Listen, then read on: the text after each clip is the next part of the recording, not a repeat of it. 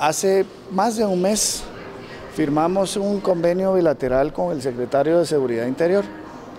Ese convenio bilateral tenía eh, acciones y alcances o objetivos específicos. La firma del acuerdo de cooperación del viernes, del convenio de las visas de trabajo del día de ayer y otros convenios que eventualmente se desarrollarán son parte de ese paquete que venimos conversando desde hace bastantes meses. Ahorita el acuerdo de cooperación está en la etapa de, que ya fue suscrito. Eh, dependiendo de cuál sea la ruta, eh, vamos a la parte de la aprobación y luego a la parte de la ratificación o se queda en la parte de un convenio bilateral simplificado.